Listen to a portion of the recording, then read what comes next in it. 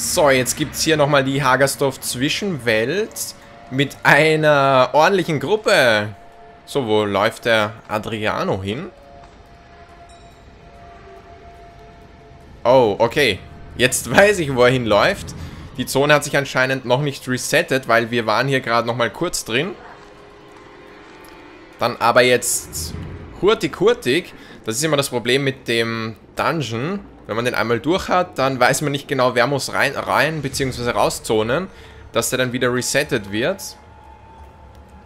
Jetzt probieren wir es gleich nochmal. Also so ganz habe ich das auch noch nicht herausgefunden. Ich glaube aber, das hat irgendwie noch niemand hier.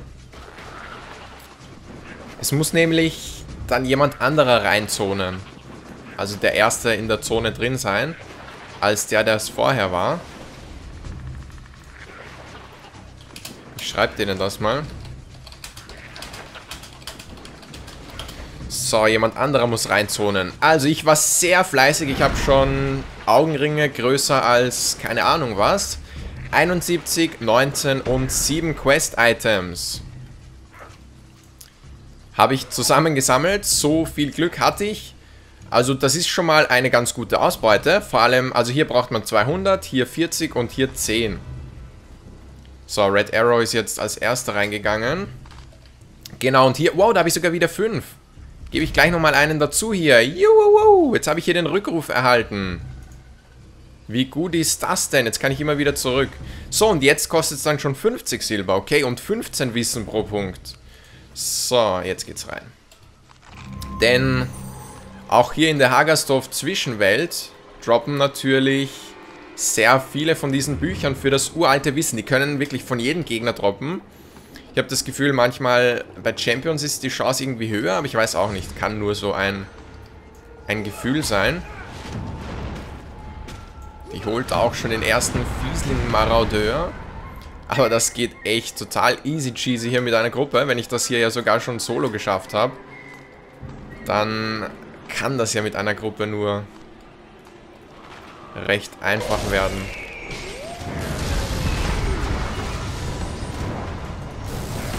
Mal schauen, wie schnell wir da jetzt durchkommen. Ich habe gebraucht, alleine in etwa, ich weiß gar nicht mehr, eine halbe Stunde. So in etwa, glaube ich, wird das schon hinkommen.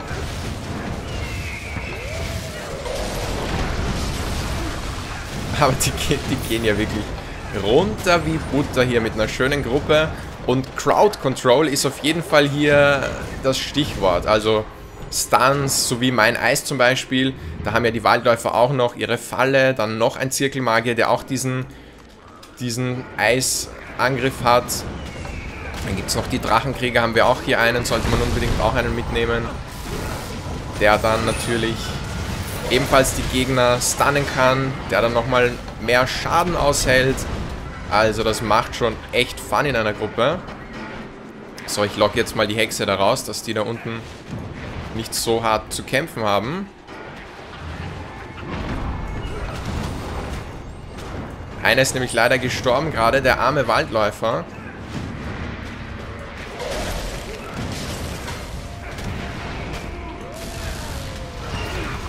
Aber hier, wenn man hier stirbt, dann ist es eigentlich nur, weil man mal kurz nicht aufgepasst hat. Beziehungsweise die ganzen Feuerbälle, wenn da wirklich von fünf Spielern die ganzen Feuerbälle und was weiß ich alles da runterprasseln, dann sieht man oft gar nicht, wenn zum Beispiel so eine Hexe jetzt irgendwas losschießt, kann man oft dann gar nicht erkennen. Von daher ist das schon genehmigt. Darf man mal sterben? Kann passieren. So, und ich sammle jetzt wirklich immer jeden Loot ein, weil, wie gesagt, für dieses uralte Wissen, das kostet dann beim zweiten schon 50 Silber. Das geht dann sicher rauf auf 5 Gold pro Punkt und da geht es ja noch sehr weit drauf. Also, Gold spielt jetzt auf jeden Fall eine große Rolle, deshalb nehme ich da alles mit, was man kriegen kann.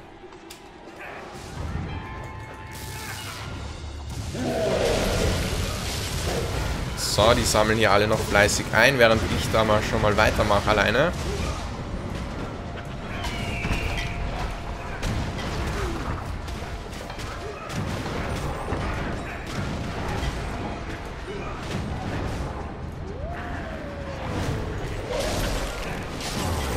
Die Wölfe sind auch etwas verwirrend hier, weil da gibt es ja auch diese Füchse.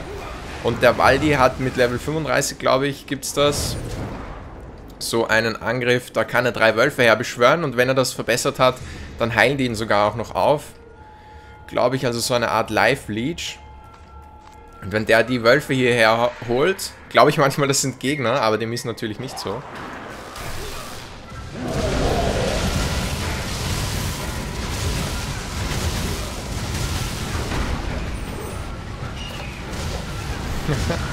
Zwei Wächter, zweimal das schwarze Loch vom Zirkelmagier.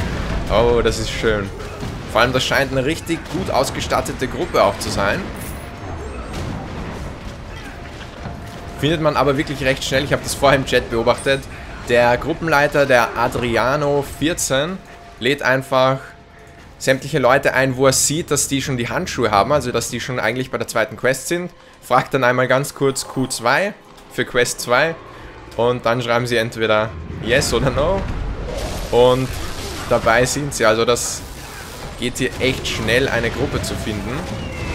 Ich muss auch nur kurz in der Stadt stehen und werde gleich angeschrieben, ob ich hier die Quest 2 noch brauche. Quest 3 bekomme ich auch einige Anfragen, aber das sind noch nicht so viele Spieler. Und was sehe ich da? Da liegt ein uraltes Wissen herum. Droppen wirklich recht häufig. Aber okay, jetzt braucht man ja auch schon 15. Das heißt, das ist nochmal eine ordentliche Hausnummer dazu. Wie viel habe ich jetzt? Mein erstes erst wieder. Das heißt, jetzt bin ich eigentlich 5% stärker als vor dem Patch. Weil ich da ja 5% mehr Schaden und 5% mehr Lebenspunkte jetzt habe. 2576 habe ich. Vorher hatte ich irgendwas mit 2300, 2400. Also das ist schon auf jeden Fall mehr geworden.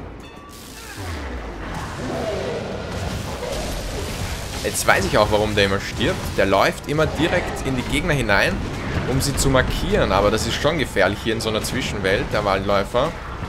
Ich kenne das ja jetzt selber von meinem Waldi. Wenn man da einmal zu nahe zu den Gegnern hingeht.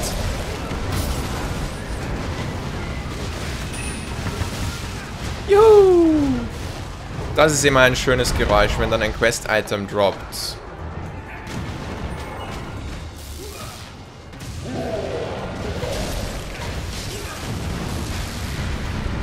Praktischen ist es wirklich, wenn, wenn sich einer darum kümmert, so um das Kiten sozusagen, also der hält derweil, zum Beispiel ich mit meinem Wächter, ich halte zum Beispiel jetzt die drei Gegner da fern, ich kann die zwar natürlich nicht alle aushalten, aber während der Drachenkrieger mit einem Damage-Dealer einstweilen bei irgendeinem anderen Gegner beschäftigt ist. So funktioniert das doch sehr gut. So, Puck der Schleimbeutel jetzt wieder zurück, wenn der stirbt. Weil der hat dieses Gift. Jawohl, ich bin ihm entkommen. Die anderen haben es leider abgefangen. Und da oben, bevor ich es vergesse, zwei hübsche Quest-Items. 75 von 200. Hallo, geh aus meinem Loot. Meine Loots. I need more Loots.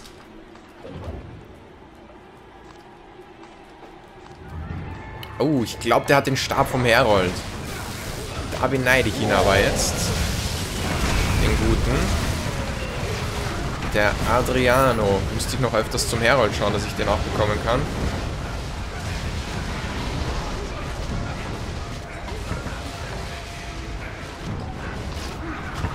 Zwei Waldis, zwei Zirkelmagier und ein Drachenkrieger ist eigentlich die perfekte Formation. Wahlweise kann man sich auch noch zwei Drachenkrieger mitnehmen, dann ist es noch etwas sicherer. Oh, wow, wow, wow. Ich hämmer hier die ganze Zeit. Nein, ich habe keinen Trank mehr. Wow, ich habe keinen Trank mehr. Nein. Ich hämmer die ganze Zeit auf mein Teleport drauf, bis ich bemerkt habe, dass der gar nicht mehr, dass der noch gar nicht funktioniert. Das war jetzt wirklich ein sehr dummer Fehler von mir der nicht hätte passieren müssen. Aber der arme Waldi, wo steht er denn? Kommt schon wieder ordentlich auf die Nüsse.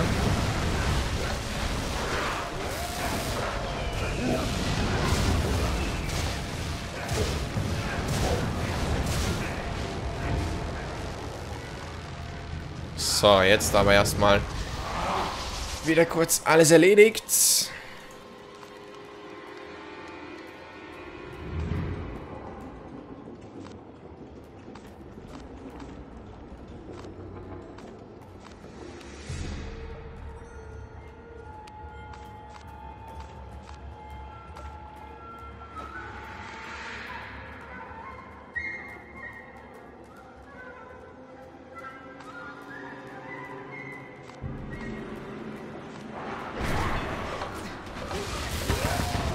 Hier geht's weiter. Da unten wartet auch der nächste Boss. Die Wölfe unten legen derweil ihre Fallen, aber das bringt ihnen nichts. Die können da nicht drauf treffen. Oder treffen die uns? Nein. Treffen uns nicht. Aber ich kann sie treffen.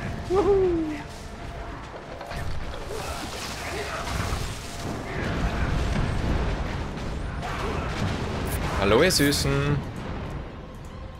18 Kristalle der Wahrheit. Also hier, wenn da Andamant oder Kristalle der Wahrheit droppen in dieser Zwischenwelt, dann ist das richtig gleich immer eine ordentlich fette Summe. So, und ich lock jetzt wieder diese, diese Hexe da raus. Das alte Mütterchen. Ich muss nur ein paar Mal drauf schießen, dass ich die Agro ziehe von ihr. So, komm. Oh, jetzt ist sie gestunt. Weil die hat ja diese Barriere, also diesen, diesen Buff, den Schutzschild. Und während die derweil die Wölfe kloppen, ziehe ich das alte Mütterchen immer gerne raus aus der Zone. Na komm. Magst du mir nicht folgen? Ein bisschen irgendwie so? Genau, so, jetzt haben die Wölfe nämlich nicht ihren Buff und ich kann hier ganz locker diesen Gegner bearbeiten.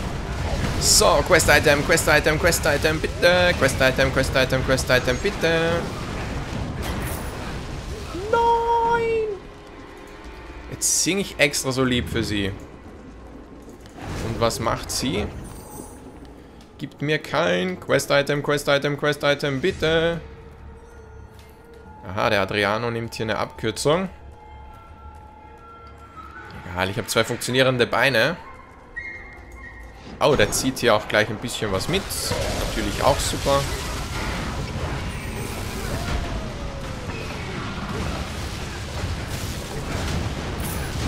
Yo, schon wieder uraltes Wissen. Das leuchtet so lila, da freut man sich auch richtig, wenn das droppt. Uraltes Wissen aus längst vergangenen Zeiten, mein Söhnchen.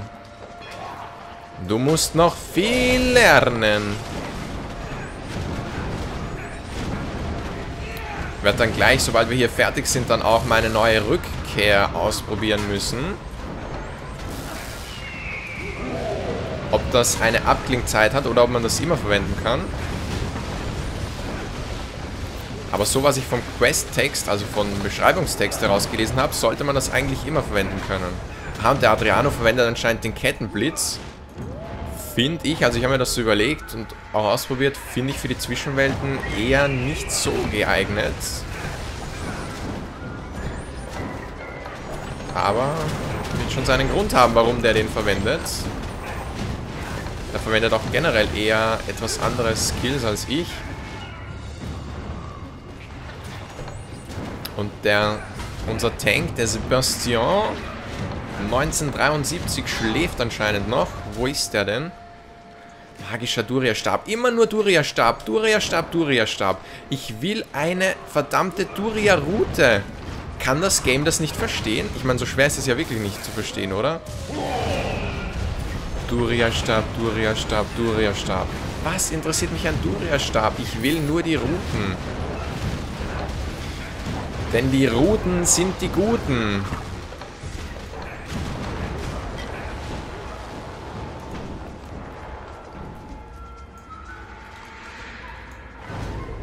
Auf, auf, ihr Hasen, hört ihr nicht die Hagersdorf-Grotten blasen?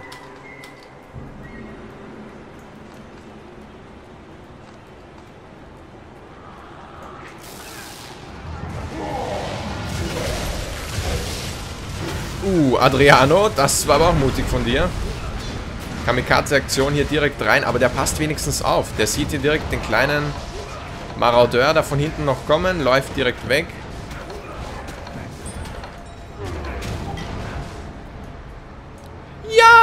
Duria-Route. Zwar nur eine grüne, aber besser als gar nichts. Weil auch aus denen habe ich schon wieder drei blaue. Fehlt mir noch eine blaue, dann gibt es wieder eine lilane und dann bin ich wirklich bald am Ziel bei der legendären angelangt. Oh, meine Sense sind fast um. Da wechsle ich mal zu den lilanen. Obwohl gerade jetzt beim Boss hätte ich ja die anderen lassen können. Ach, egal.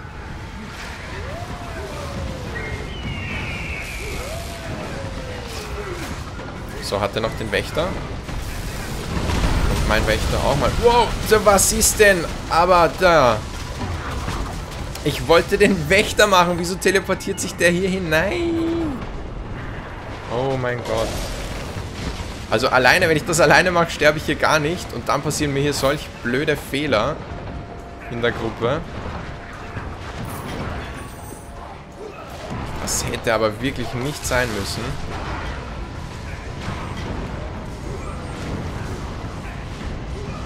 Oh, aber der Adriano ist auch gestorben.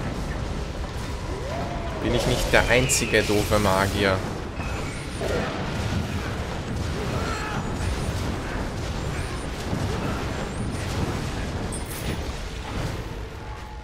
Jo, nächster Boss down. Kein Quest-Item. Habe ich das jetzt richtig gesehen? Noch kein Quest-Item von einem Boss. 19 noch immer, ja. Jo, aber ein paar normale zumindest. Und jetzt vielleicht von der letzten auch. Mit etwas Glück. Ja, ja, das Einsammeln dauert dann immer. Weiß nicht, was sich die Leute da alles anschauen dann noch. Ihre ganzen Items. Da wachle ich mal hier mit der Fahne. Was habe ich hier? Kroatien. Und was gab es hier noch? Dänemark. Yay! Und ein Feuerwerk.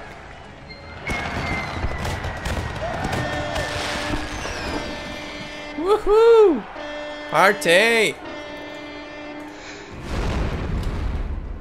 So, passt schon wieder. Gehen wir weiter, würde ich sagen. Ha? Adriano ist auch schon wieder da. Jetzt mal auf zum Endboss. Aha, nein, vorher geht's hier noch und so.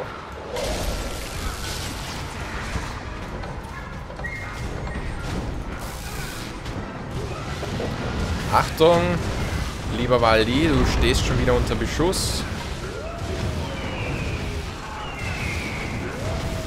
Von so einer fiesen Todeshexe. Jau, Quest-Item. Wieso hat der Waldlauf eigentlich drei Hunde und wir nur einen Wächter? Das finde ich unfair. Ich will auch drei Wächter auf einmal.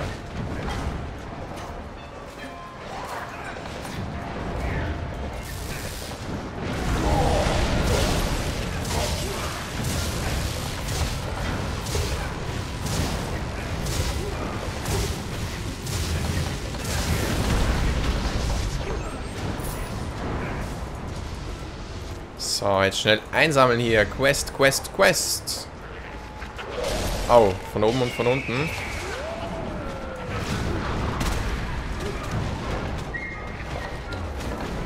Bleib mal hier bei der Hexe.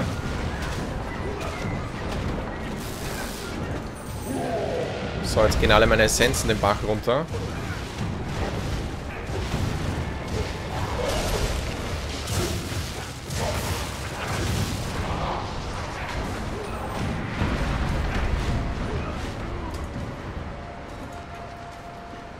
Nice, da hinten noch was. Ah, hier steht noch einer. Ah, der Adriano ist erst jetzt wieder gekommen. Der ging ja vorher drauf, genau. So, ich kaufe mir jetzt mal diese hier in der Gruppe. Würde man eigentlich maximal die blauen brauchen, mit so vielen, aber um das doch mal ein bisschen anzuheizen jetzt beim letzten Gegner. Beziehungsweise bei der letzten Gegnerin.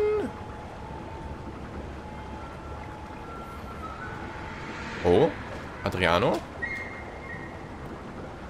Oh, keine Ahnung. Der ist irgendwie weg. Egal. Ich mach den hier. Na? Komm schon. Genau, ich mach den hier.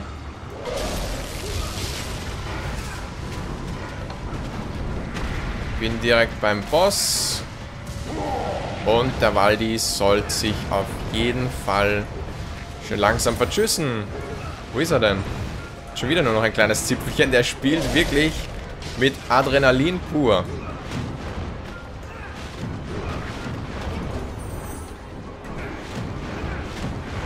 Der steht anscheinend auf den Kick.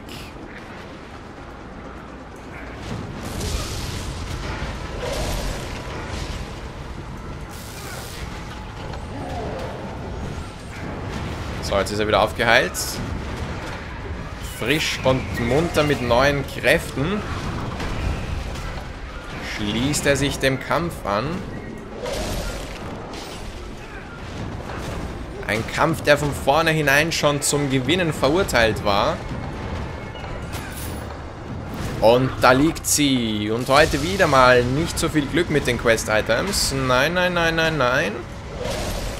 Neun, neun, neun. Schon wieder nichts. Aber irgendein außergewöhnliches Item habe ich da gesehen. Aber das hilft mir für die Quest auch nicht viel weiter.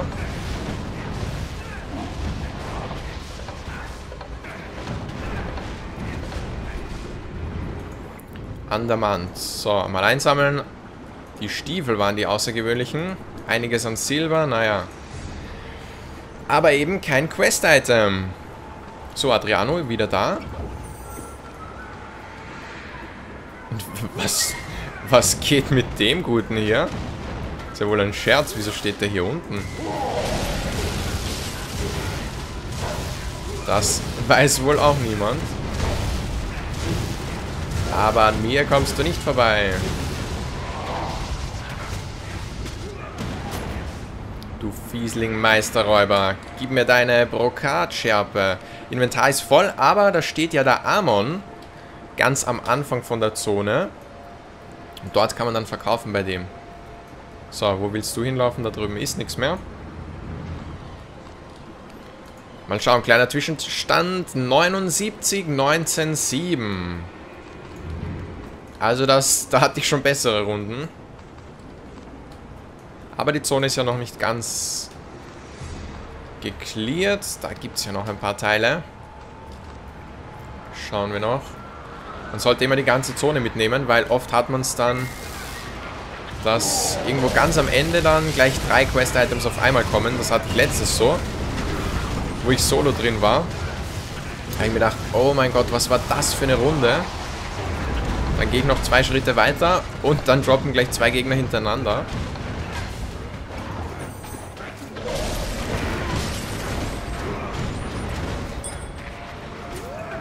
Also das sollte man auf jeden Fall immer die ganze Zone clearen.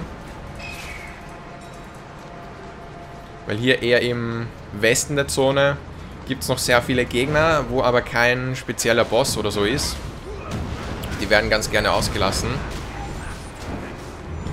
Aber die würde ich auch immer mitnehmen. So, wofür entscheiden wir uns? Wohin gehen wir? Unstimmigkeiten in der Gruppe Hagerstove.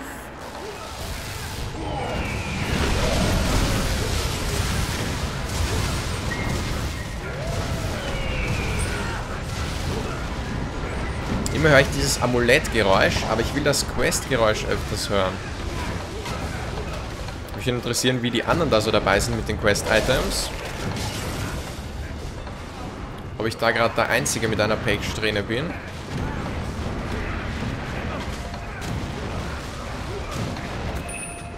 Jau! Genau, das macht Freude, dieses Geräusch.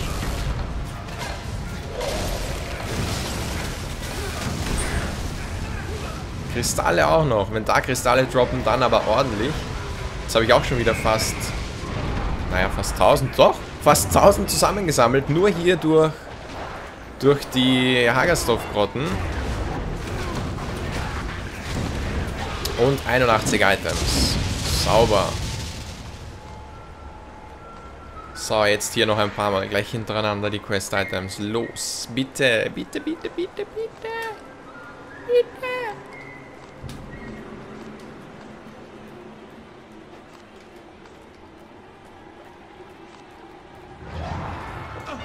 Wo sind die Mobs? Da sind die Mobs.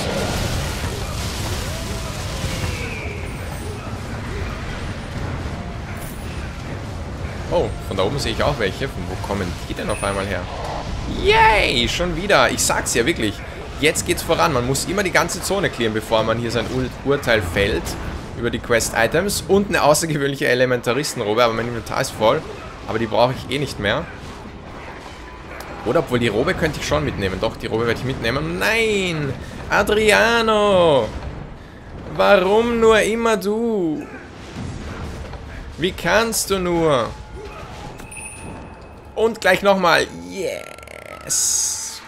So, Granatkristall kommt weg. Dafür sacke ich hier die Elementaristenrobe ein. Der arme Adriano. Zum Glück bleiben die Quest-Items für ihn liegen. Und die normalen Items. Das heißt, wenn er jetzt wieder reingeht, hat er direkt wieder alles.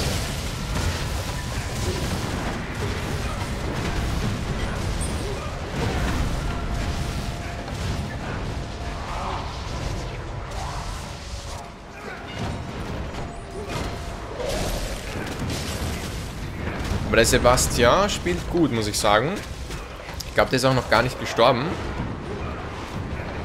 Weil hier als Tank, wenn man da viel zu offensiv vorgeht, was ja bisher der Drachenkrieger immer gemacht hat eigentlich, aber in den anderen Zonen hält man es eben aus, aber hier sind die zu stark, da kann man nicht direkt reinlaufen, der pickt sich immer hier ein paar raus, bleibt eher defensiver, genau, der läuft nicht direkt in die Menge gleich hinein.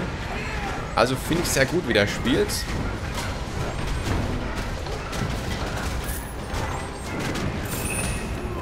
Der macht das schon ordentlich so. Ui, aber ganz anders als ich zum Beispiel. Wenn man in so einer Situation ist, einfach zurücklaufen und eine Sphäre von vorher holen, weil da liegen meistens noch welche herum, die man vorher gar nicht gebraucht hat. Was? Adriano? Schon wieder down? Das kann ja nicht sein, oder?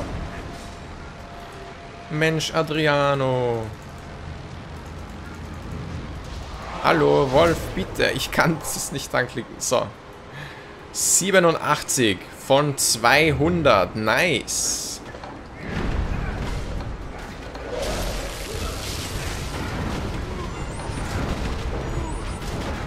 Aha, Moment, da unten ein Fallensteller. Den schnapp ich mir mal.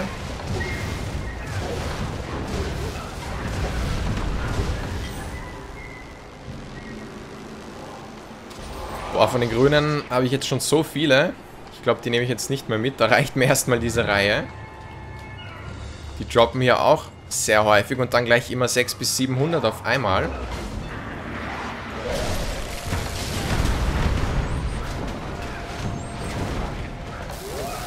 So, aber ein Wächter muss ich dafür gleich immer ganz nahe hinstellen, irgendwo direkt in die Menge hinein. Und uraltes Wissen. So. Ein kurzer Check. Zwei habe ich. Also ich glaube jetzt so in etwa insgesamt habe ich... Müsste ich vier gefunden haben. Also das müsste jetzt das vierte oder so sein.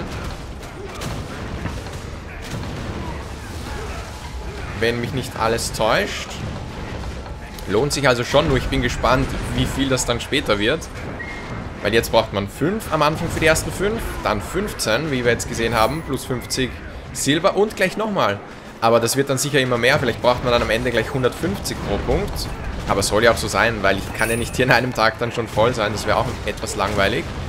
Yes, was geht denn jetzt? Vorher zweimal an der Mand. Quest-Item, uraltes Wissen. Drei Stück jetzt. Boah. Die, manchmal kommt es mir so vor, als würden die letzten Gegner irgendwie dann noch eine kleine Überraschung beinhalten, weil das sind jetzt die letzten Gegner der Zone. Wie gut ist das denn eigentlich, bitte? Also wenn man das wüsste, wenn man zum Beispiel die Zone nach dem Endboss einfach verlassen würde und wüsste aber, dass hier sowas droppt, da würde man sich aber auch in den Hintern beißen. Hat sich echt gelohnt, jetzt nochmal so viel uraltes Wissen eingeheimst und dann hier noch Quest-Items. Muss man schon sagen.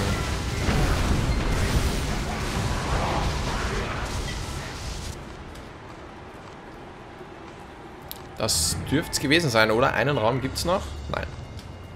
Nö. Das war eine Runde durch die Hagerstoff-Gruppen mit, mit einer Gruppe. Hier verkaufe ich jetzt erstmal schnell.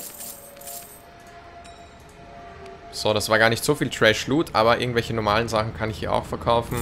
Da die Handschuhe brauche ich nicht mehr, da habe ich jetzt sowieso welche, die auch, das auch. Außergewöhnliches Amulett, naja, vielleicht behalte ich mir das. Die Roben werde ich irgendwie zusammenschmieden. Stab brauche ich auf keinen Fall. Habe ich sonst noch irgendwas? Ja, hier, das kann auch alles weg. So, und, oh, ich bin der Einzige nur noch drin. Dann wieder raus und gleich noch eine Runde. Die hat sich auf jeden Fall gelohnt. Da ging wieder ordentlich was weiter, bis auf hier beim letzten leider nichts.